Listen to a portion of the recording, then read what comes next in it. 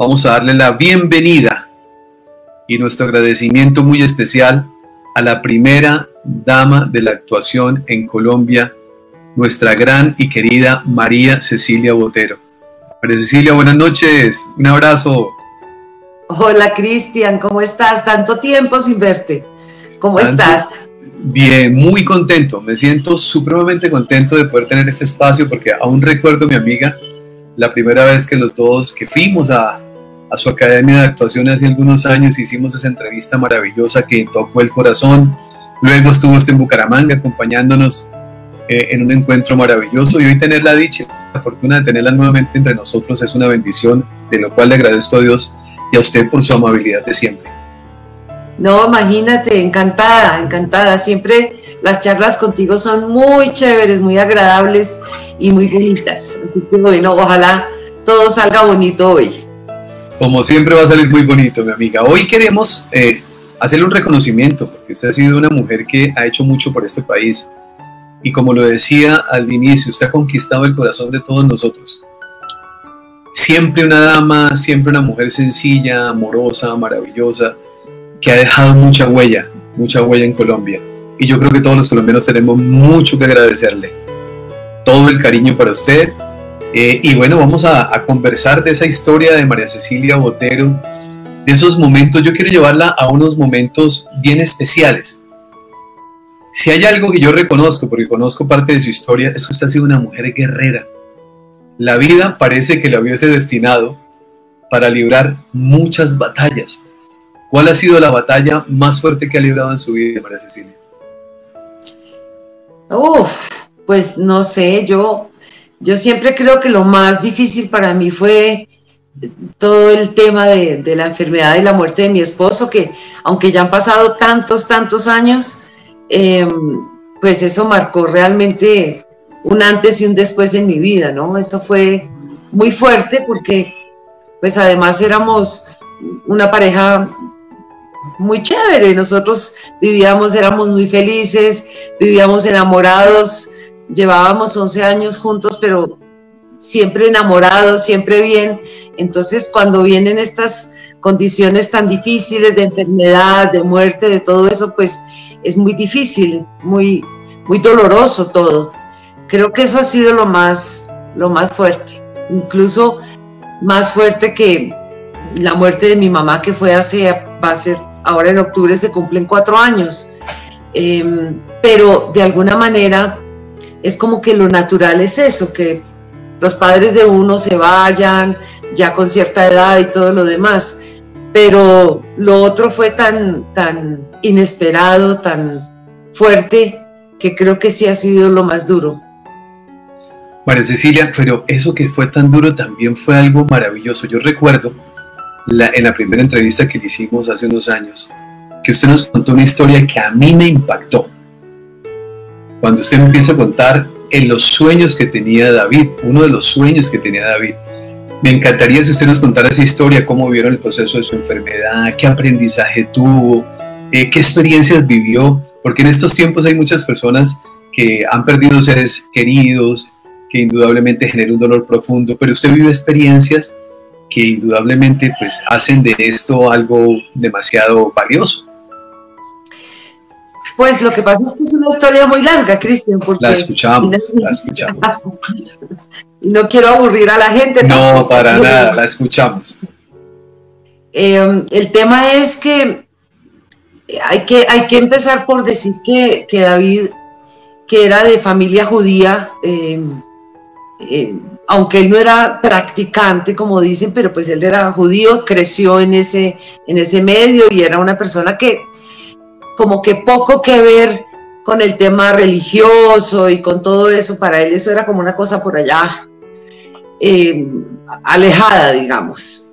Em, cuando, vi, cuando viene este tema de la enfermedad que nos agarró tan, tan de sorpresa, porque además en un principio nos dijeron pues que era muy poco el tiempo que le quedaba, unos médicos le daban 15 días de vida y otro, el que más le daba, le daba 3 meses de vida. Gracias a Dios, eh, fue una, casi 13 meses en realidad. Entonces, eso nos permitió como, como empezar a, a entender de qué se trataba, porque tú sabes que siempre cuando uno le, le dicen, vea, usted tiene una enfermedad, no hay nada que hacer. Acá lo único que, que usted puede hacer es tratar de vivir lo mejor que pueda el tiempo que, que le queda. Eso es demasiado fuerte y lo primero es el rechazo y, el preguntarse por qué a mí, que ahí fue cuando yo decía, eh, hablábamos mucho con David, pero ¿por qué a mí? ¿Por qué a nosotros? Y él un día me dice, ¿y por qué no a nosotros? A ver, ¿acaso qué somos? Todo el mundo dice, ¿por qué a mí? Bueno, ¿y por qué no a mí? Yo soy igual, somos iguales todos y a cualquiera le puede pasar. Y como que durante todo ese tiempo lo que, lo que realmente hicimos fue hablar mucho.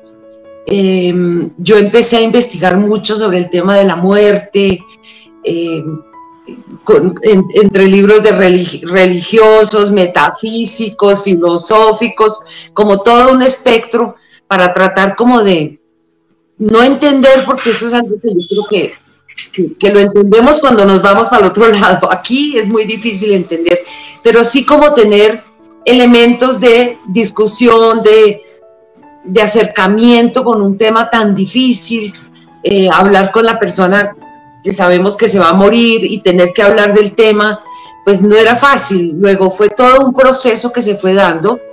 Em, tuvimos, eh, nos fuimos unas vacaciones ya cuando pues la cosa estaba, yo me llevé todos mis libros, nos fuimos a una playa, Mateo, él y yo solitos, a una casa en una playa en Panamá, como para estar solos, para estar en familia.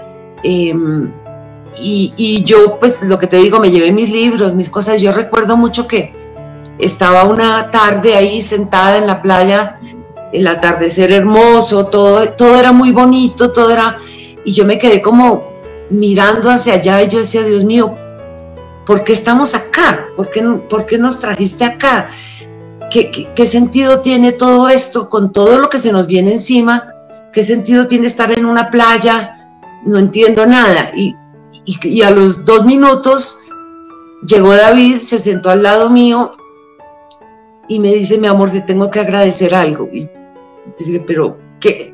Me dice, por primera vez en mis 62 años, porque él tenía, iba a cumplir 62, em, me doy cuenta que encontré el espíritu, tengo un espíritu y tengo alma. Yo no entendía nada de lo que me decía, pero digamos que ese fue como el inicio de todo un cambio em, que vino, no es que se haya vuelto religioso ni nada de eso, pero sí hubo un cambio real en su espíritu, em, en, su, en su manera de ver la vida, de enfrentar la vida, la poca vida que le quedaba.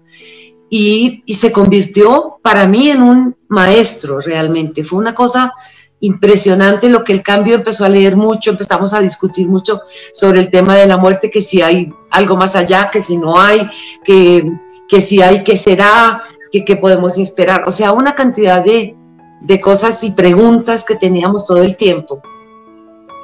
Em, una noche, y, ahí, aquí viene lo del sueño, y, y, quería pues hacer énfasis en que él era de religión judía realmente. Claro. Sin embargo, eh, una noche, como estábamos dormidos y como a las 4 de la mañana me despertó eh, y me dice, mi amor, mi amor, acabo de tener un sueño muy, muy loco. Yo, ¿qué, qué pasó? ¿Cómo fue ese sueño? Entonces me dice, yo estaba parado como al lado de un túnel y veía ya a lo lejos que alguien se acercaba, se acercaba, se acercaba y lo empiezo a ver y era con una túnica como beige y venía con un libro en la mano y se acercaba y se acercaba. A, medida que se fue acercando, me di cuenta que era Jesús. Y entonces yo esperaba ansioso que Jesús me, pues ya que venía para acá, me hablara o algo, pero siguió derecho. Siguió derecho. Entonces yo lo llamé y le dije, Jesús. y él se volteó y me dice, ¿qué quieres, David? Y yo le dije, pero ¿cómo así? ¿Tú por qué sabes mi nombre? Y Jesús apenas que se quedó mirando y dice, ¿qué, qué, quieres? Entonces David le dijo, porque ya David estaba, ya empezaba a sentir mucho dolor. Él no tomó ninguna medicina para el cáncer, no tomó nada. Él se rehusó a hacerse tratamientos y todo, eh, pues porque no, como no había realmente mucha posibilidad de nada. Exacto, entonces él prefirió tener calidad de vida y entonces no tomaba medicina ni nada de eso. Entonces cuando Jesús se voltea dice, ¿qué es lo que quieres, David? Él le dice, mire Jesús, yo sé que yo me voy a morir, ya lo sé y yo ya lo acepté. Em, pero, ay, espérate que me... Aquí se me metió algo, discúlpame un segundito. Tranquila. De paso aprovecho, aprovecho para decirle a todas las personas que están conectadas que por favor compartan esta publicación en sus páginas para que podamos llegar a más personas, porque esta historia tiene que escucharla muchas, muchos seres humanos. Una historia tan hermosa como esta, Entonces, este, eh, Jesús le dice, bueno, ¿qué es lo que quieres, David? Entonces David le dice, bueno, ya sé que me va a morir, yo ya lo acepté, yo lo entiendo. Solo quiero pedirte que por favor me quites el dolor. Es, es algo muy terrible. Jesús le puso la mano en el hombro y le dijo, no, David, si yo te quito el dolor, tú entonces vas a perder la perspectiva de la enfermedad y de la muerte. El dolor es parte de eso y es parte de que aceptes lo que tiene que venir. Así que lo siento mucho, pero no, no se puede. Y se fue. Ahí se despertó David. Y entonces me dice, y tiene razón, mi amor, tiene razón. Si a uno no le duele, si uno no, de verdad no, no tiene dolor físico, no se da cuenta realmente del tránsito que está pasando y del tránsito que viene. Es importante el dolor y es importante aceptar que el dolor viene eh, como parte de, la enfermedad y después la muerte. Ese sueño, ese sueño, ¿cómo, cómo tocó la vida de David? ¿Cómo tocó la vida de todos ustedes? De pues, su vida. Pues es que era muy raro. Él, después de que me cuenta el sueño, em, me dice, ¿yo por qué me voy a soñar con Jesús? Yo, yo soy judío, o sea, yo no, no, no tengo relación, nunca he tenido relación con, con la iglesia católica, ni cristiana, ni nada de eso. Eh, y me, parece muy raro, me dice, soñarme con Jesús, aun cuando para él siempre la figura de Jesús fue una figura importante, como un ser muy importante, no como nosotros los católicos pensamos que es Jesús, pero para él, él sí decía que fue el profeta más importante que, que, hubo en la humanidad. y no creía que fuera el Hijo de Dios como todos nosotros lo creemos, pero sí lo consideraba eh, alguien, el más importante de todos los profetas, era lo que él decía. Entonces, como que haber tenido ese encuentro con él fue algo que lo, que lo, de alguna manera, lo movió mucho interiormente Em, y pues sí, empezamos a, eso ya fue pues ya bastante más avanzada la enfermedad, como te digo, ya con dolores. Em, y de ahí en adelante, pues incluso llegó un momento en que ya el dolor era muy fuerte, empezamos con la morfina y como a la semana o 10 días máximo de estar usando la morfina, un día me dijo, no, no quiero más morfina prefiero el dolor, porque la morfina no me deja estar consciente y, estoy perdiendo, me decía, yo no sé si lo que, si los sueños son realidad, si, porque a veces él se despertaba y me decía, mi amor, hablé con mi mamá y me dijo, no sé, y de pronto se quedaba pensando, dice, no, pero si mi mamá está muerta. Entonces eso fue un sueño y eso lo empezó a atormentar de tal manera que me dijo, no, prefiero aguantarme el dolor a no poder controlar mi mente. Quiero morir eh, con mi mente sana y absolutamente consciente de todo lo que está pasando. Y ahí, de ahí en adelante empezamos a manejar el tema del dolor. Yo muy, muy, no sé, muy instintivamente, porque pues, yo nunca, nunca había tenido una oportunidad de, acompañar a nadie que muriera ni de una enfermedad, nunca. Él fue la primera persona que yo vi morir en mi vida, entonces yo no, no tenía mucha experiencia. Sin embargo, yo digo que uno, tal vez el mismo amor que uno siente por la persona y ver a una, a una persona que uno ama tanto, sufrir, aguantar dolor, es tan fuerte que uno empieza como a, como a inventarse cosas para ayudarlo. Y yo me inventé ahí como un método de respiración eh, para manejar el dolor y con eso lo manejábamos.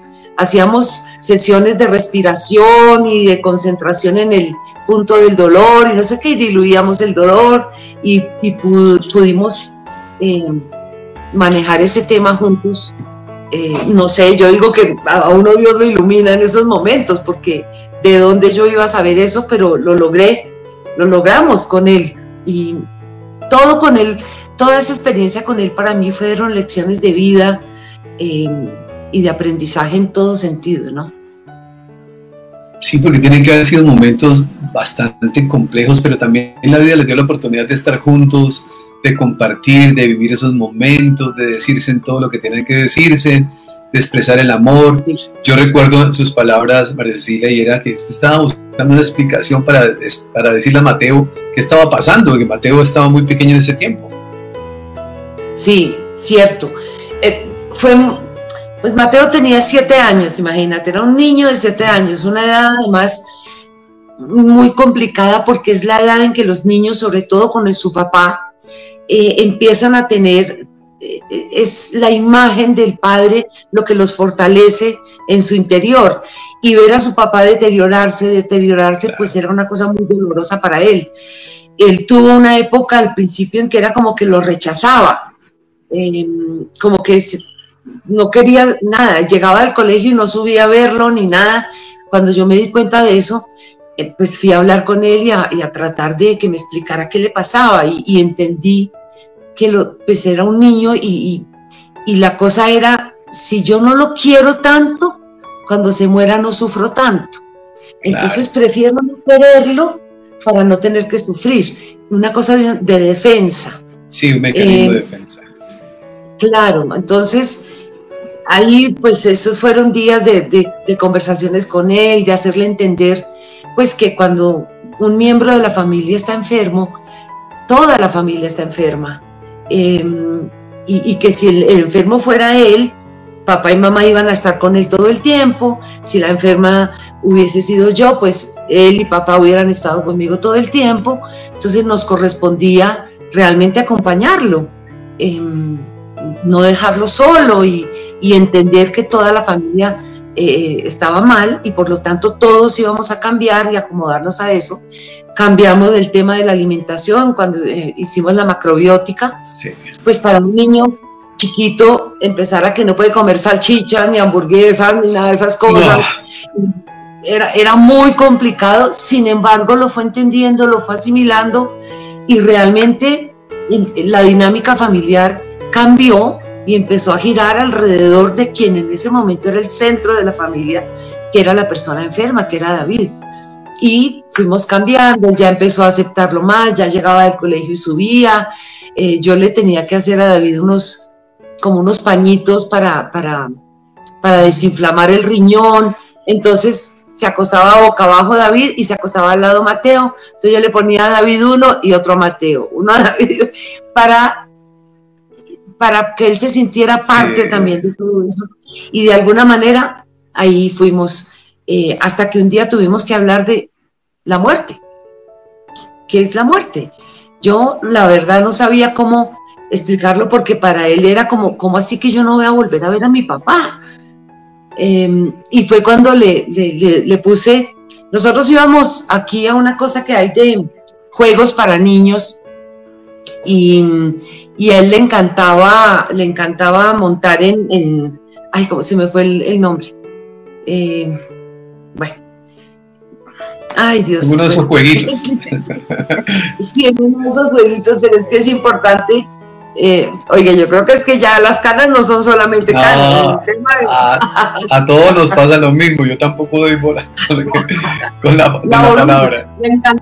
Le, encantaba montar en la oruga. Entonces se me ocurrió el tema de la oruga y le dije, Mate, mira, ¿cómo te parece a ti que cuando la, una oruga se va a morir, todas las orugas se quedan tristes, muy tristes y lloran mucho porque no vuelven a ver a esa oruga? Pero ellas lo que no saben es que cuando la oruga se muere, nace la mariposa. Y eso es más o menos lo que pasa con nosotros. Los que estamos aquí solamente vemos que se muere, pero no sabemos que despierta al otro lado de otra manera. Ah, imagínate tú, la oruga se muere y todas lloran, pero realmente de la muerte de la oruga nace una hermosa mariposa libre que sale a volar, que es hermosa, que tiene colores, que esa es la otra vida de la, de la oruga, es la mariposa. Y yo creo que a nosotros nos debe pasar lo mismo. Y tenemos que pensar así con papá, que puede que nosotros no lo sigamos viendo, pero él va a estar en una vida sin dolor, sin sufrimiento, sin enfermedades, va a ser libre, va a ser feliz, y por más de que a nosotros nos haga falta, Él la va a pasar bien, Él va a estar bien. Y eso es lo que tenemos que entender de la muerte, que cuando lloramos a alguien, lo lloramos es por nosotros, no por Él, porque Él se muere y despierta a algo mucho mejor. Lloramos porque nosotros nos quedamos sin Él. Es de alguna forma hasta un poco egoísta, porque estamos llorando por nosotros. Me va a hacer falta, yo lo necesito, todo eso. Extrañar. Exacto. Pero tenemos que pensar en que Él se, va a liberar del dolor, del sufrimiento. Míralo cómo está. Él, él, sufre mucho, le duele mucho, ya no puede comer, no puede moverse. Entonces, para Él va a ser la libertad. Él va realmente a poder quitarse todos estos sufrimientos. Y sí, nosotros no lo vamos a ver, pero Él va a estar ahí sin que lo veamos. Esa fue la, como lo único que se me ocurrió para tratar de, que Él entendiera qué significa la muerte. Maravilloso. Además, María Cecilia, ese concepto tal y cual usted lo manejó en ese momento, es el concepto como lo maneja una persona que ha investigado durante muchísimos años este tema de la muerte, la cual pues me he leído todos sus libros, que yo me imagino que usted también que se llama Elisa de Kubler-Ross. Cuando uno empieza, a, uno empieza a leer a esta mujer y explica eh, pues el concepto, para, y yo soy una persona que creo en eso por todo lo que he venido leyendo, que la muerte no existe. Porque cuando usted ahorita me hablaba de que David eh, de pronto se despertaba y decía, estaba hablando con mi mamá o con mi papá, ¿no? Eh, hace poco murió el papá de un gran amigo y él es, él es un abogado lógicamente su parte racional funciona muy bien, porque pues esa es parte de su oficio, pero tuvo la oportunidad de cuando estaba con su papá en, los, últimos momentos de vida, su papá le decía a él, eh, hijo, ahí está mi mamá y aquí está mi papá, y están aquí al lado. Y entonces los saludaba papá, mamá, y eso mismo lo cuentan todos los que han vivido la experiencia, que han tenido la persona cercana, de que nadie muere solo que llega eh, tal, vez esa palabra, el, combo familiar, a recogerlo a uno y lo acompañan en un momento de trascendencia como ese, como usted bien lo explica, ¿no? Eh, donde nace y, donde vuela el hombre, el ser humano libre. Tal cual. Y, pues claro que un niño es un niño y por más de que, de claro. pues trataba de explicarle y todo lo demás y como que lo que tú dices racionalmente hasta lo entendía hasta el momento que murió y empezó a pelear con Dios. Eso fue muy fuerte porque él estuvo al lado, yo, él llegó para despedirse ya cuando David se iba a morir em, y, y él lo tomaba de una mano, yo lo tomaba de la otra. Mateo muy sabiamente, muy hermosamente le hablaba y le decía, vete tranquilo, papá, que yo voy a cuidar a mamá, no te preocupes. Bueno, fue una cosa impresionante porque, porque pues estaba muy chiquito. Siete años. imagínate. Y entonces, pues, sí, David finalmente se muere. Eh, la doctora que estaba ahí al lado viene, chequea y el niño le preguntaba, ¿ya? ¿Ya se murió? ¿Ya no le suena el corazón? Y le decía, sí, Mateo, ya. Y en ese momento en que la doctora le dice, sí, se murió, le entró como esta cosa de desespero y decía, Dios, pero le gritaba, ¿por qué me haces esto? Tú no lo necesitas. Yo tengo ocho años, yo sí lo necesito.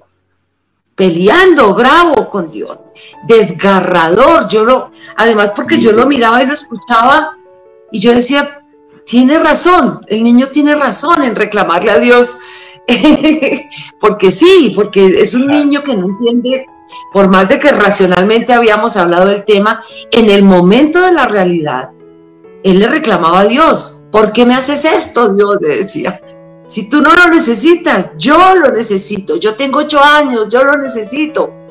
Fue muy, muy fuerte y ahí ya pues después nos calmamos, eh, todo lo demás, él me ayudó a escoger la ropa para ponerle a papá, ya todo después fue más tranquilo y todo, pero, pero fue muy fuerte, fue un momento muy difícil y muy, muy duro, muy duro. Claro. Si a nosotros de viejos nos duele cuando se mueren nuestros padres, imagínate a un niño de ocho años, acababa de cumplir ocho añitos. Entonces eh, fue muy doloroso, muy fuerte realmente. Pero, pero también, María Cecilia, hay algo que, que muchas personas no conocen y es que usted también vivió la experiencia. Usted también vivió la experiencia de, perder sus signos vitales, de verse. Esa, esa historia que es muy linda porque pues no es que se la contaron, sino que usted la vivió, ¿no la podría compartir? Bueno, imagínate, esto fue un año justo después de que murió David. Yo tuve, un año después. Sí, justo al año. Em, yo empecé a sentirme como mal un día. Yo tengo un problema que no sabía hasta ese momento y es que tengo un umbral de dolor muy alto. Entonces, es como que no siento mucho dolor. Cuando yo ya digo ay, ay, ay, estoy en urgencias. Eso es, eso es, solamente me fue bien en ese sentido en el parto, porque no tuve ningún dolor. No tuvieron que ponerme inyecciones para el dolor ni nada. Fue natural y sin dolor ni nada. Pero en, en casos como el que te voy a contar, pues sí, porque yo duré tres días con una oclusión intestinal y yo pensaba que era que, me había caído algo mal y que me había intoxicado con algo y me sentía mal y mal. Y, bueno, resulta que llego yo, yo iba a Peter Pan y después de eso hacía el noticiero con oclusión intestinal, imagínate, pero pues yo no sabía. Llegó, era viernes, recuerdo, y vino un amigo mío, porque yo también digo que Dios me pone gente en la vida como en los momentos precisos. Llegó un amigo mío de Medellín y, me estaba esperando en la casa. Yo llegué después del noticiero sintiéndome muy mal. Había hecho la función de Peter Pan, había hecho el noticiero, pero ya realmente me sentía muy mal. Venía sintiéndome mal desde el miércoles. Este amigo cuando me vio me dijo, ¿qué te pasa? ¿Estás mal? Y yo le dije, no, no sé, estoy mal. Me dijo, ya nos vamos para una clínica me, fuimos a urgencias, yo no supe más. Al otro día eh, amanecí, estaba operada de una oclusión intestinal. Perfecto, la cosa bien. A los ocho días yo fui, me quitaron los puntos, todo perfecto. Y me iba a ir a una finca supuestamente a descansar a la mañana siguiente y como a las cinco de la mañana otra vez empecé mal, mal, mal, otra vez para la clínica. Entonces cuando me llevan a la clínica, el médico me dice, no, pero pues llame a toda su familia que vengan a donar sangre. Si usted sangre hace muy poco la, eh, fue su cirugía anterior y, pues está muy, muy peligrosa la cosa. Bueno, el caso es que el señor me metieron a cirugía. Y pues yo creo que él no, no, no sé, no pensó que, que era lo que iba a pasar, no supo qué hacer se embolló, como digo yo conmigo, eh, y la cirugía duró casi nueve horas.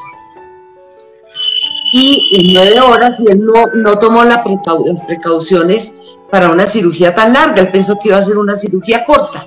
El caso es que cuando yo estaba en recuperación, yo recuerdo que yo abrí los ojos, estaba mi mamá y mi prima, y yo les decía, no puedo respirar y no puedo respirar, y salió mi prima corriendo a buscar al médico y yo empecé a sentir que me moría, que me moría, no podía respirar, entró la enfermera, me ponía la máscara de oxígeno y era peor, una cosa horrible y como que en ese momento yo dije, bueno, ya, me tocó morirme, si Dios lo que quiere es que me muera, pues me muero.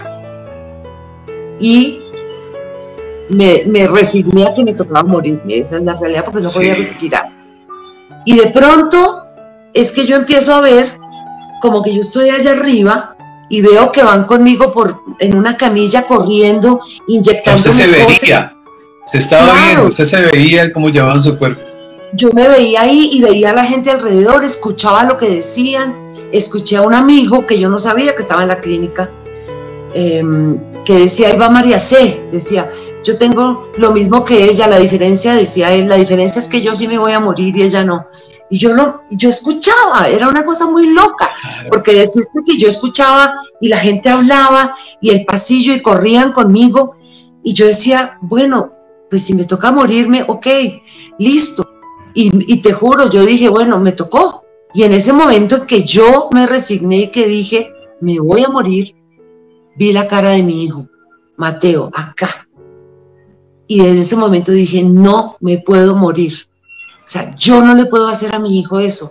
Hace un año se murió el papá, yo no me puedo morir. O sea, yo no le puedo hacer eso. Y, no le puedo hacer eso es que de ahí yo no supe más hasta que desperté en cuidados intensivos. Em, había tenido una tromboembolia pulmonar. Eh, cuatro coágulos se saltaron y me taponaron todas las entradas de oxígeno a los pulmones y, y, y pues, no dicho, los mismos médicos me miraban y no, entendían cómo estaba viva realmente. Pero digo, a mí me salvó Mateo. O sea, como que yo dije, no me dejo morir y no me dejo morir. Y de ahí ya yo no me acuerdo hasta que ya desperté en los cuidados intensivos. Y ahí en adelante fue mucho. ¿No le comentó lo vivido María Cecilia a los médicos cuando usted de pronto, no sé si hubo la oportunidad de decirle lo que pasó, que usted se salió, que lo vio, que los escuchó? Porque la ciencia médica, cuando hablamos de estos temas, pues lógicamente, eh, y entiende uno que ellos trabajan en el mundo científico, hasta no comprobar algo no lo creen.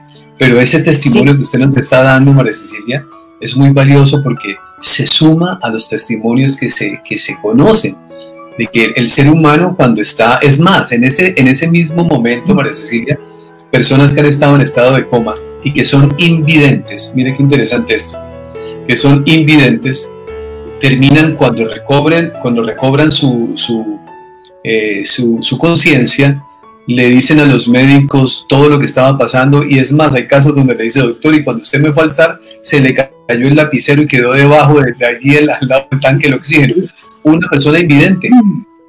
Porque cuando, cuando eso sucede, el ser humano, eh, dice las investigaciones, el ciego ve, el paralítico camina, o sea, la sanidad es total. Usted no sentía dolor.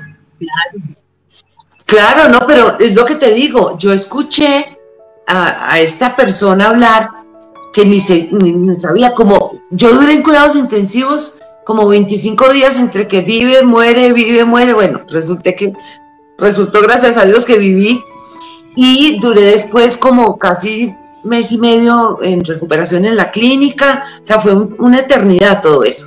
Un día me fueron a hacer un examen y llegaron conmigo ahí en la silla de ruedas y yo veo a Carlos. Y, lo, y me quedo mirándolo y me acordé lo que yo lo había oído y él me saludó, me dijo, María C, ¿estás bien? Yo te vi cuando te llevaban y yo me acordé ahí mismo de que yo dije, claro, yo te oí. me decía, pero ¿cómo así? Dije, yo te oí cuando tú dijiste ahí va María C. Ella y yo tenemos lo mismo. Todos, me dijo, sí, yo dije eso, pero ¿cómo me ibas a oír? Le dije, no me preguntes, pero te oí. Y, Carlos se murió un mes después, realmente. Fue muy triste. Ahí en la misma clínica. Lo, que él dijo, la diferencia es que ella no se va a morir y yo sí y él se murió como un mes después de que nos encontramos ahí en ese sitio. O sea que fue muy, muy fuerte, muy fuerte. Eso es muy raro. Yo no sé qué, en qué consiste, cómo se llama. Em, yo había tenido otra experiencia de esas muy joven, recién que yo empecé mi relación con David. A mí me hicieron una, una cirugía muy tonta, que era quitarme un quistecito detrás del útero una bobada. En dos días usted sale y ya vuelve allá a, cantar y a bailar, me decía la doctora.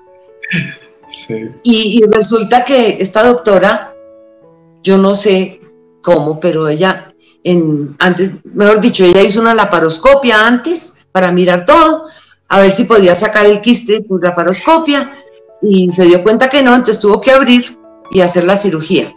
El tema es que en la laparoscopia ella me perforó los intestinos y no se dio cuenta. Entonces me cerró y yo me acuerdo que yo estaba em, empezando a recuperarme, discúlpame, y recuerdo que una enfermera se acercó y empezó a gritar, doctora, doctora, esta niña se está muriendo, esta niña era yo. Y resulta que me había, obvio, tenía peritonitis, bueno, un desastre todo, entonces me tuvieron que volver a hacer otra cirugía ahí mismo también. Es que yo con los médicos no he tenido suerte, la verdad. Se equivocan mucho conmigo. Entonces que lo mismo, yo desperté como tres días después conectada a cualquier cantidad de aparatos. Yo eh, tenía 25 años, imagínate. Y mal, mal, mal. Y recuerdo que un día, lo mismo, de pronto yo estoy viéndome como que yo estoy por allá en la esquina de, en el techo arriba, y empiezo a ver a mi mamá, que estaba en la cabecera de este lado, y a David, que estaba acariciándome los pies, y, yo los veía, y yo no solo los veía, sino que yo sentía lo que cada uno sentía. Era una vaina muy rara. Ah, Y cuando, cuando entró la enfermera, habló con mi mamá, eh, mi mamá en un estado terrible, pobrecita, en una tristeza, David terriblemente angustiado, y me quedo mirando a la enfermera que sale, y sale, y allá afuera están mis hermanos, estaba Elena Mayarino, y la enfermera sale y les dice, recen por esta niña porque yo creo que esta noche no pasa. Y yo oía y veía todo eso y yo estaba como con alguien aquí al lado, ¿no? Con alguien aquí que yo no miraba, pero yo sabía que había alguien conmigo. Y, y yo le decía, no, yo no me puedo voltear, yo no me puedo voltear porque si me volteo, le decía, allá está la luz. Y si yo veo la luz, yo me voy. Y yo no me puedo ir. Yo no me puedo ir. A mí me falta todavía tener a mi hijo. Imagínate. Eso, yo tuve a Mateo tres años después de eso, o sea que en ese momento, pero yo a, quien estaba al lado mío le decía, no me voy a voltear y no me voy a voltear porque la luz, ahí está la luz y si yo veo la luz me voy. Y yo no me puedo ir porque me falta tener a mi hijo, todavía no me puedo ir y todavía no me puedo ir y dos días después desperté. Y mi mamá me cuenta que mm, ese día llegó un médico eh, que, no conocían, como uno que estaba de turno nuevo, no sé, un, señor ya mayor, agarró la historia, eh, miró, llamó a la enfermera, el dijo hay que hacer esto, esto y esto. sí, doctor, sí, doctor, me hicieron eso, eso y eso, y yo empecé a reaccionar. Entonces mi mamá estaba tan agradecida, lo mismo David, que llamen otra vez a ese médico. Entonces la enfermera le decía, no, pero ese médico lo trajeron ustedes. Y mamá decía, no, yo, nosotros no. Él, llegó acá de la clínica. En la clínica no lo conocían, mi mamá tampoco lo conocía. Nadie sabe quién era ese médico.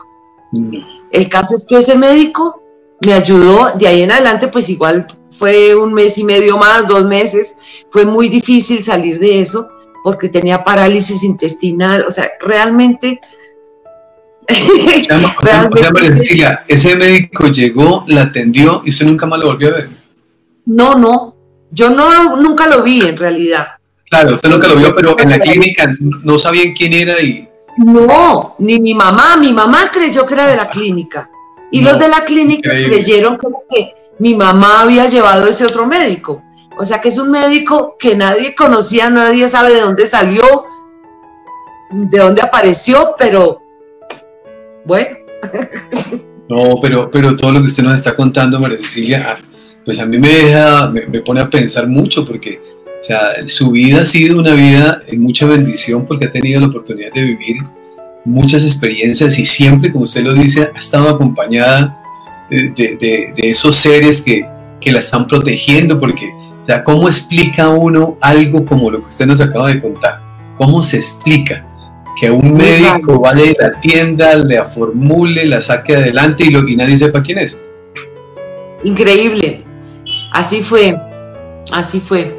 Muy raro, muy extraño, pero bueno, esas son las cosas. Y, lo más curioso es que, bueno, pasó eso y como que uno en el momento ni siquiera le para bolas. es, tiempo después que uno, yo, a mí me pasó en ese momento, eso pasó y pasó, y no le paramos como muchas bolas. Pero realmente, cuando uno mira hacia atrás y dice, pero ¿cómo fue que pudo pasar eso? Ahí, ahora, tiempo después, es que uno se da cuenta de lo, de lo importante, de lo extraño, de, todo eso, ¿no? Pero, pero en el momento como que el, el, presente es tan fuerte que no te deja caer en cuenta de lo que está ahí al lado, ¿no? El, cuento era salvar la vida y, y, yo hacer lo posible por vivir.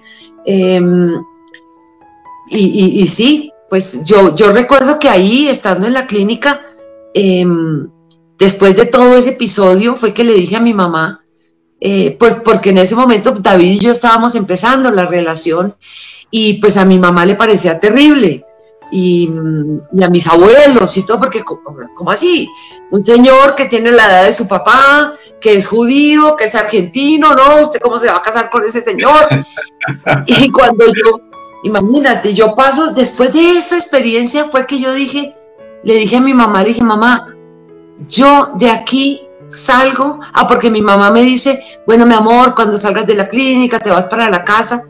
Y le dije, mamá, ¿sabes qué? Yo quiero vivir con David desde hoy hasta el último día de mi vida, le decía yo. yo ya, después de todo esto que me ha pasado, tengo la seguridad absoluta de que él es el hombre de mi vida y no voy a dejar que pase un solo día, porque nadie sabe lo que va a pasar al otro día. Así que no quiero desperdiciar ni un solo día de mi vida y quiero pasar con él el resto de mi vida. Y, y sí, y así fue. Y así fue. Y así fue. cuando la escucho María Cecilia, yo digo, sumo todas las experiencias que ha vivido, es increíble. O sea, esta que nos acaba de contar, luego la otra cirugía, la experiencia con David, luego, o sea, todas las experiencias que usted ha vivido son experiencias que, que realmente no todo el mundo y lo digo en una, de una muy buena manera y con la mejor intención, no todo el mundo tiene esa experiencia de vivir, porque es algo que, que, que cuando uno lo escucha, yo la, yo la estoy con todos los sentidos puestos escuchándola, digo, una cosa maravillosa, porque es que eso ratifica más eh, lo que pongamos mi creencia, ¿no? Mi creencia, María Cecilia, es los seres humanos venimos a este mundo a aprender lecciones, pero cuando morimos simplemente es una trascendencia y todo lo que usted está contando, pues es, prácticamente como eso. ¿Qué piensa usted de todas esas lecciones que la vida le ha permitido vivir? No sé, ¿tú crees en la reencarnación, por ejemplo? Sí. Yo tuve la oportunidad, mm, vino, vino a Colombia eh, Brian Weiss, ¿sabes quién es ah, Brian Weiss? Sí, claro que sí, sí.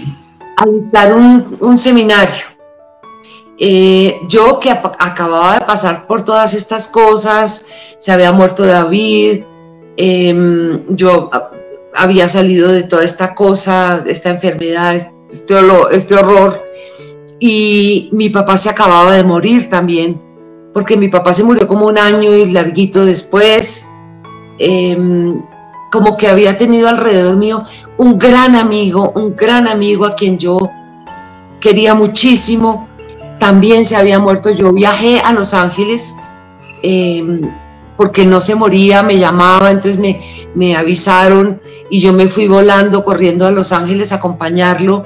Yo llegué un, un lunes en la noche, recuerdo a Los Ángeles, estuve con él el lunes en la noche, el martes y murió el miércoles. Realmente, de verdad, como que me estaba esperando.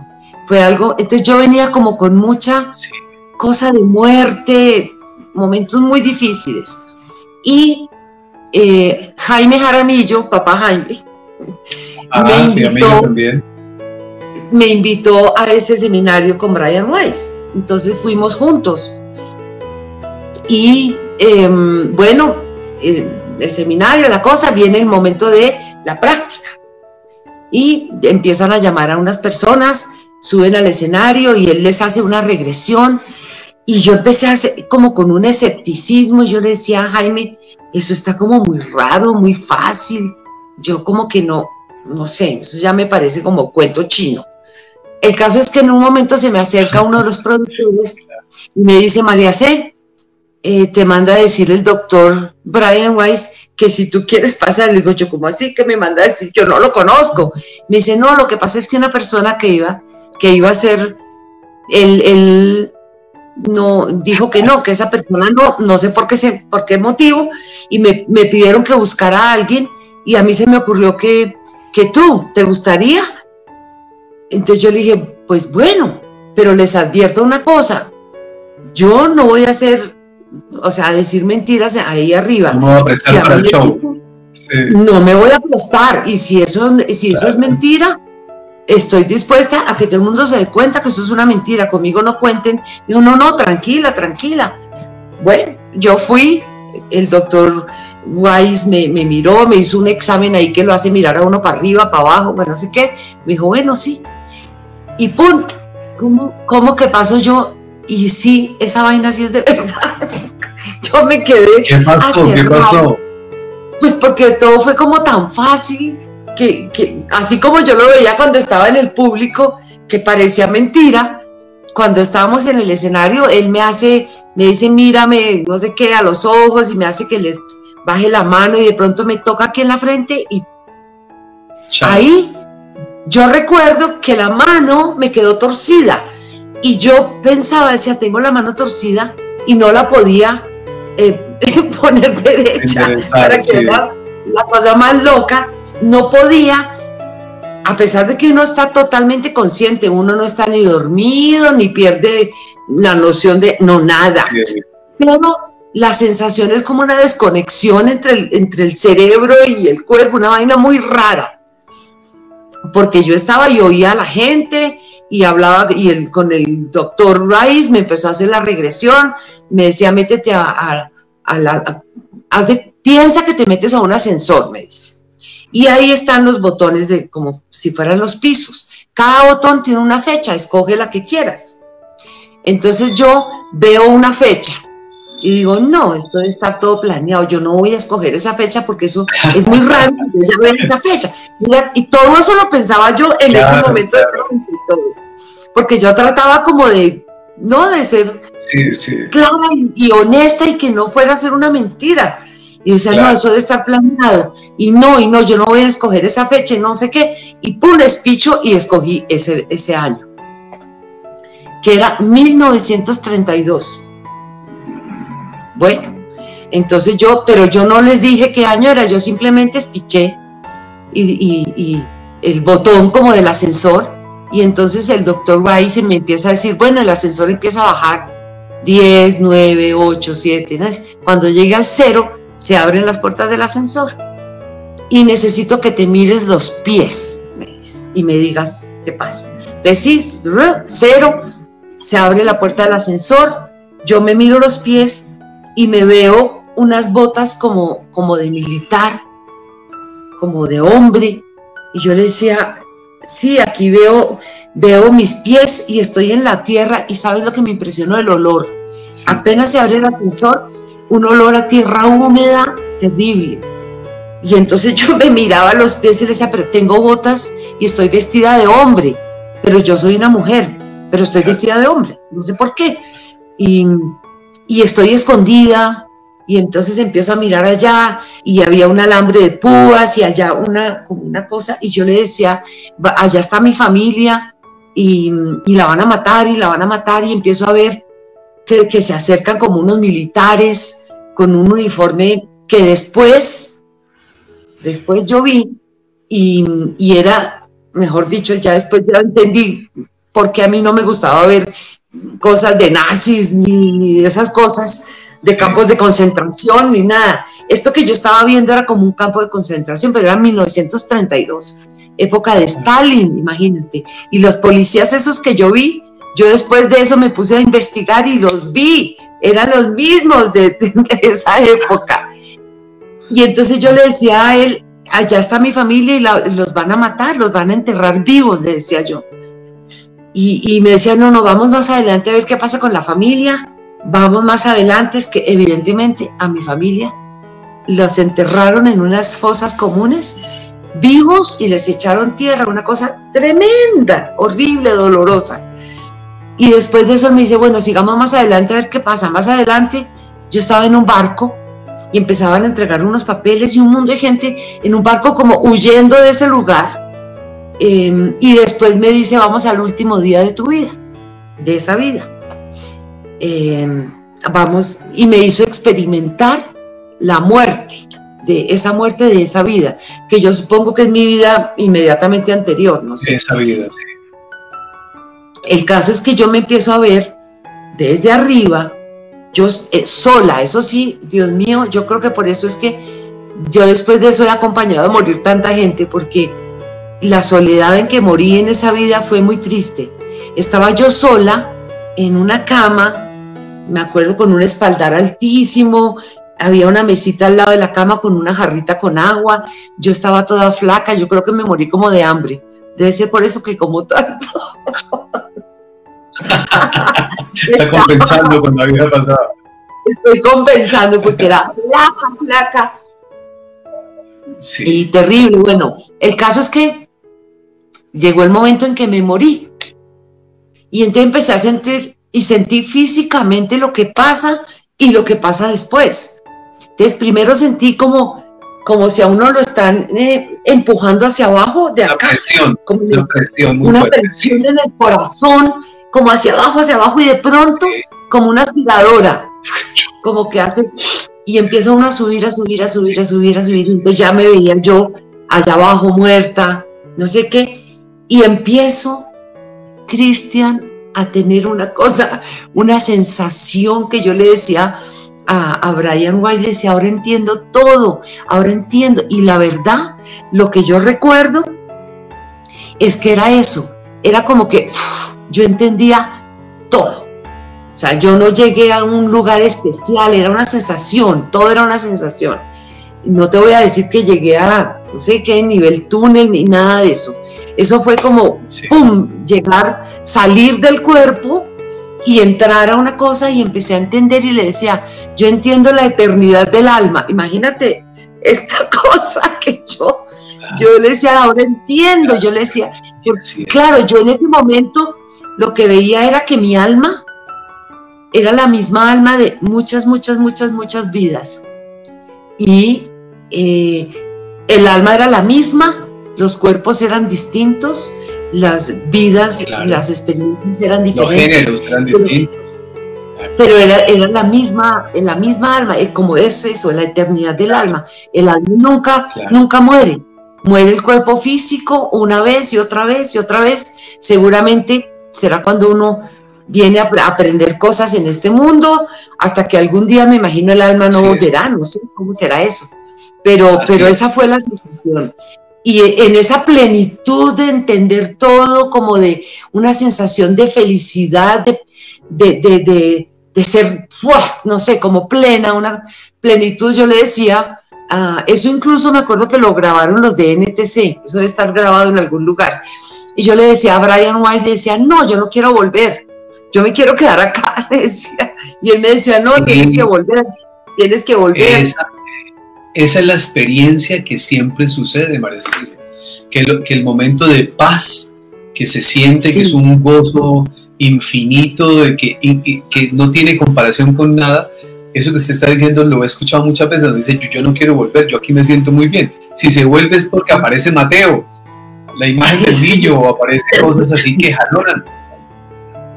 Exactamente, ¿no? Y yo ahí volví después y y, realmente yo y el público aplaudía y yo decía que aplauden, Dios mío, esta experiencia tan loca, si era verdad, porque pues yo, yo estaba muy desconfiada, pero, pero eso, el, doctor Brian Weiss es un personaje maravilloso y, de verdad que a raíz de eso yo me empecé a leer todos los libros de él, todo lo que tiene que ver con todas las regresiones y todo, y, empecé a creer en eso de, de las reencarnaciones porque antes era como que más o menos, pero a raíz de eso empecé a creer. Yo tengo plena convicción en eso, María Cecilia, tengo plena convicción. Todo lo que usted ha dicho, todo lo que usted ha dicho, eh, ratifica las investigaciones que hizo una mujer como Elizabeth Kubler-Ross. De por sí le digo a todas las personas que me están acompañando y a usted si, si no ha tenido la experiencia de leerlo, hay un libro de ella que se llama La Rueda de la Vida. Para mí, en mi concepto, es de lectura obligatoria para cualquier ser humano. ¿Por qué? Porque es que nosotros le tenemos miedo a la muerte. No entendía, no vemos existencia, nos pegamos unas enredadas, sufrimos un montón de cosas para saber que en la escuela de la vida María Cecilia, cuando usted no prueba las materias, lo devuelven otra vez para el curso. Y, y esa, es la reencarnación, o sea, cuando nosotros no aprendemos, pues nos repiten la lección. Claro, de eso se trata. Yo, yo, después de eso, por la noche salimos a comer, no sé qué, y me invitaron muy amablemente em, y le pregunté a Brian Weiss, le dije, mire, a mí me ha pasado esto, esto, esto, esto y esto. Él me dijo, yo sé que usted ha tenido muchas muertes em, últimamente y por eso me dijo, yo quise que usted tuviera la experiencia de la muerte para que pueda ayudar a morir a la gente que le corresponde que usted le ayude.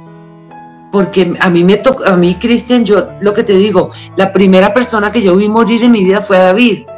Y después de eso, mi amigo, otro amigo después, mi papá, eh, después otros, a varios amigos me, he tenido acompañarlos a morir. Eh, y entonces lo que me decía Brian Weiss me dice, eso es una misión que a usted le tocó y pues la tiene que, la, pues, chévere que, que, usted sepa qué es para que pueda ayudarle al, que tiene miedo de morirse, para que usted le pueda decir, vea, morirse no es tan terrible. Y ahí es donde viene la pregunta que le quería hacer, porque, porque hay una pregunta que es, es obligatoria para mí ¿para cuándo tendremos el libro?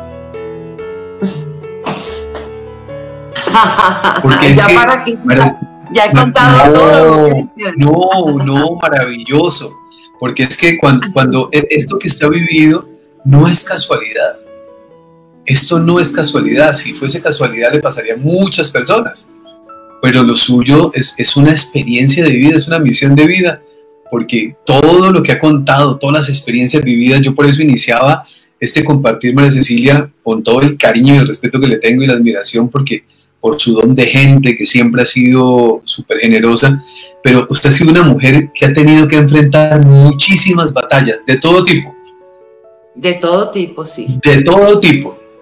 O sea, yo conozco parte porque hemos compartido varias veces, entonces ha tenido que enfrentar muchas batallas y las ha ganado. Y ha ganado muchas batallas. Pues yo creo, yo creo, Cristian, que como me dijo esa noche Brian Weiss, me dijo, mire, hay gente que pide eh, pagar varios, como quien dice, varios karmas, entre comillas, eh, a la vez. Me dice, usted debió pedir de cuatro vidas, porque le ha tocado mucha cosa. a lo mejor es que, si, ojalá sea la última, porque pues más chévere no tener que volver a este mundo tan tenaz. ojalá que cuando ya me vaya, me manden aunque sea para otro planeta a un planeta con mejores personas, porque este planeta está horrible, Cristian. Este mundo está muy enfermo, la humanidad está muy, muy, o sea, a mí me duele todo lo que pasa, pero más me duele ver que los seres humanos nos hemos vuelto tan horribles, tan insensibles, tan, no sé, es muy triste, muy triste ver a lo que, a lo que estamos llegando. Que en fin, Dios sabrá, pero muy, muy feo. Ojalá que haya otras vidas en otros planetas con unos seres más chéveres. Sí. Pues eh, Elizabeth Kugler en su libro En la Rueda de la Vida María Cecilia, ese libro lo he leído tal vez cinco veces. Yo los tengo todos los de ella, porque yo me apasioné por este tema desde hace un par de años atrás, porque quise entender ¿no? esos misterios eh, de la vida y el, yo creo que el mayor misterio que nosotros tenemos es el tema de la muerte. Cuando usted a alguna persona le habla de muerte, es una cosa terrible sabiendo que es un estado natural del ser humano. Lo que pasa es que si nosotros no entendemos a qué venimos al mundo, si nosotros no tenemos ni idea cuál es el fin de la existencia, cuál es la misión que tenemos que vivir, pues pasamos por este plano sin pena ni gloria. Entonces, Elizabeth Kubler dice en ese libro, María Cecilia, que nosotros venimos ella dice, esta es mi última reencarnación, ya no vengo más. Mis eh, guías espirituales ya me lo dijeron, que no tengo nada más que hacer allá. Pero también me dijeron, sí, muy lindo, Se habla de, diferentes eh, maestros espirituales de que nosotros venimos hasta mil veces. yo sí creo. Esa fue la sensación que yo tuve cuando te digo que entendí en ese momento lo de la eternidad del alma.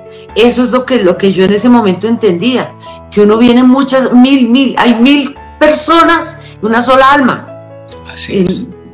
En, la, en, la, misma desde millones de años atrás, yo no sé cuántos, eh, es la misma alma aprendiendo y aprendiendo y, evolucionando y, creciendo y, y, tratando de entender.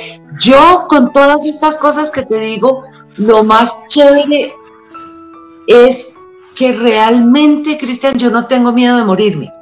Claro. Yo, y yo creo que la gente tendría que, hay mucha gente a que la que tú le hablas de la muerte y dice, uy, no, no me hable de eso, no, qué horror, qué miedo. La mayoría.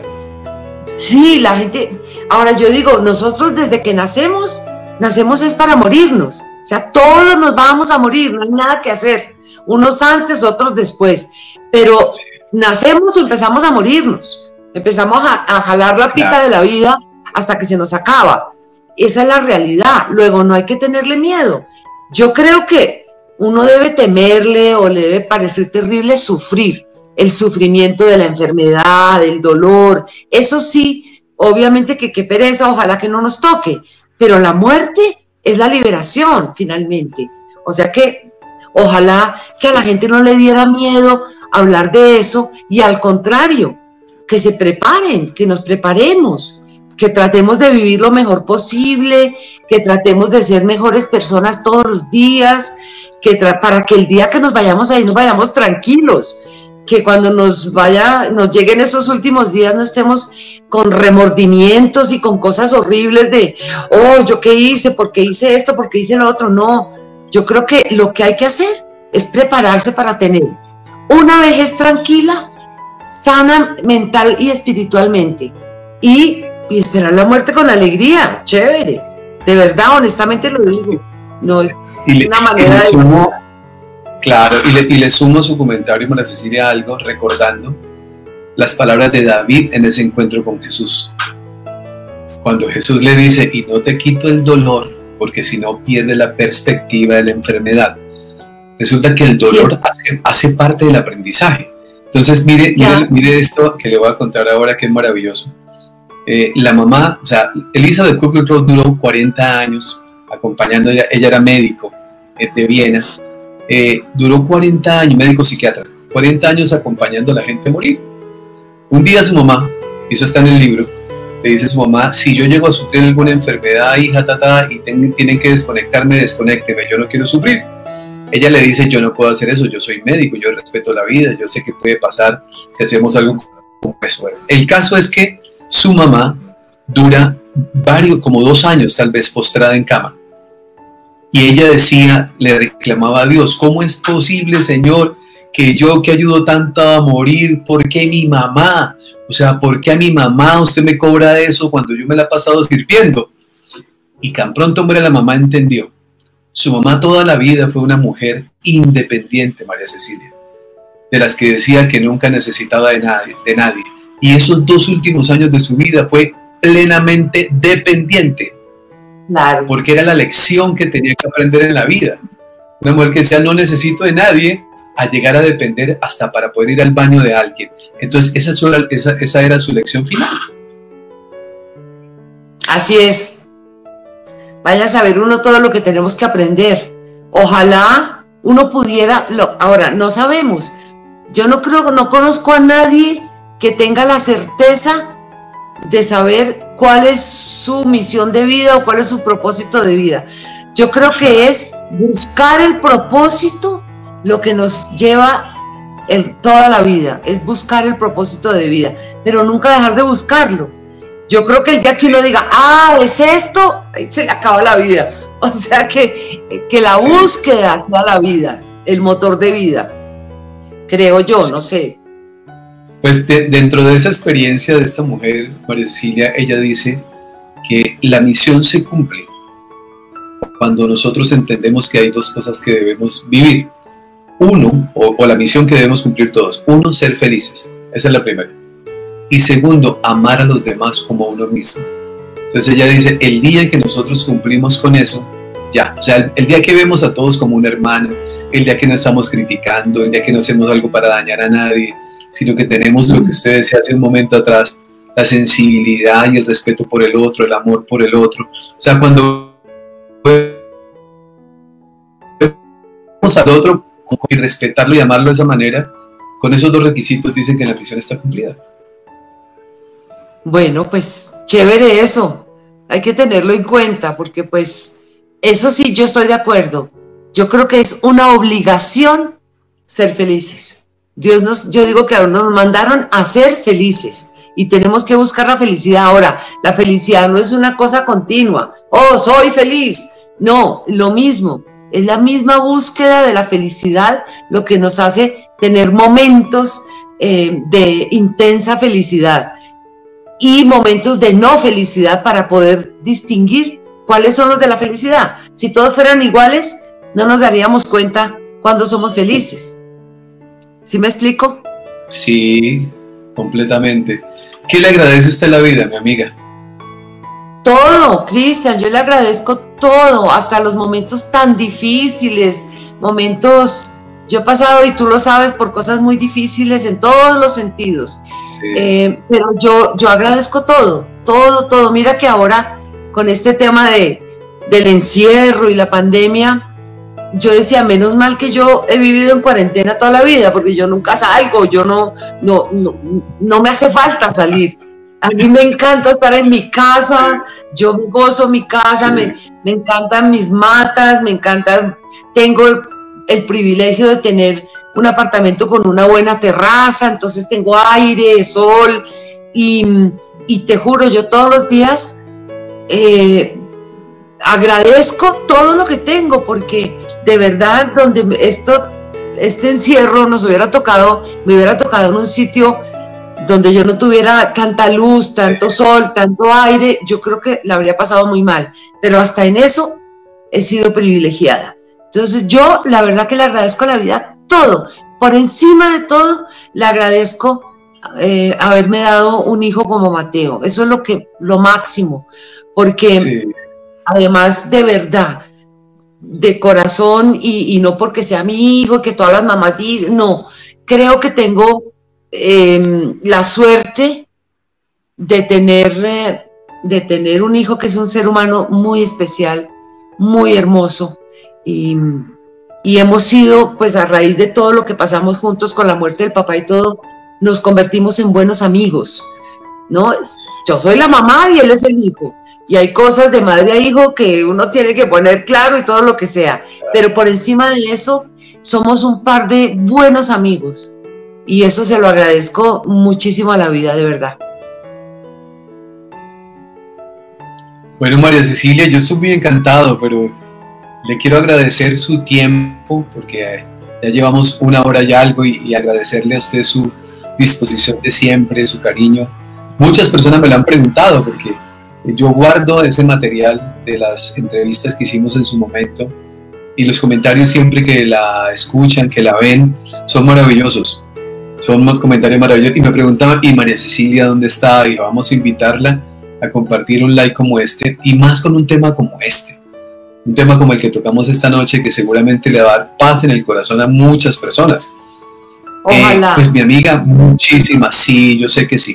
Es que, es que cuando yo la escucho, y, esto lo veré varias veces, esto, esto está, lógicamente queda grabado aquí en, en las redes sociales, lo veré muchas veces porque es maravilloso. Es maravilloso tener una persona como usted contándonos una experiencia que ratifican muchos investigadores alrededor del tema, que la vida continúa, que nosotros no morimos, que seguimos adelante, que tenemos una trascendencia. Si volviera, cuando, cuando, si volviera no, cuando, si vuelve a nacer, ¿volvería a elegir ser actriz? Como eligió ¿volvería a elegir ser actriz? No sé. Yo vivo muy feliz con lo que he sido. Eh, yo cuando... de todo, presentadora, ha, manejado las tardes con María C, presentando noticias, eh, eh, ha hecho de todo. Cierto, cierto. He sido todera dentro de los medios de comunicación, pero todo gracias a mi formación como actriz. Por eso, esa es la base. Eh, y por eso he podido hacer las otras cosas. Talk show, realities, magazines, noticias, lo que quiera. Em, he hecho de todo, la verdad. He tenido, he sido una privilegiada realmente y vivo muy agradecida em, con haber sido, no me imagino haber sido antropóloga, que era lo que yo pensaba que iba a ser. No me imagino yo de antropóloga. Estudió, ah. antropología. Alcanzó a estudiar antropología. Sí. Pero bueno, la vida le pone a uno lo que le corresponde a uno. Y esto era lo que me tocaba hacer. Entonces, pues, gracias a Dios me ha ido bien, no me puedo quejar. He sido muy feliz en mi trabajo, he tenido de verdad mucha suerte porque además he tenido suerte porque por la gente, porque la gente ha sido muy amorosa conmigo. Y, gracias a que la gente me quiere, pues por supuesto que habrá gente que no me quiere, pero la, yo sé que mucha gente sí me quiere. Mucho la queremos, claro que sí. Pero gracias a eso es que yo he podido seguir vigente. Por eso yo vivo muy agradecida con toda la gente, con todo el público, porque es gracias a ellos que estoy donde estoy. Sí.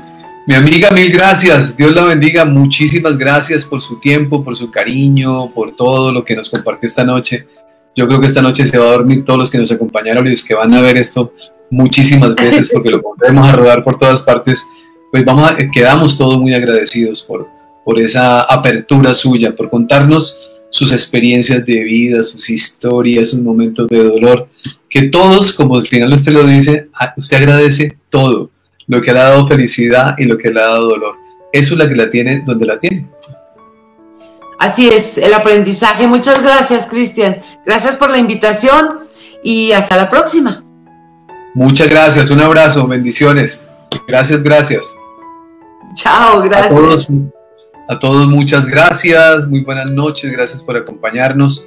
Y bueno, ya saben, el encuentro siempre será los días lunes a las 8 de la noche estaremos compartiendo acá los diferentes temas. Y bueno, más adelante esperamos tener de nuevo por aquí a nuestra amiga María Cecilia Botero. Un abrazo para todos, Dios los bendiga.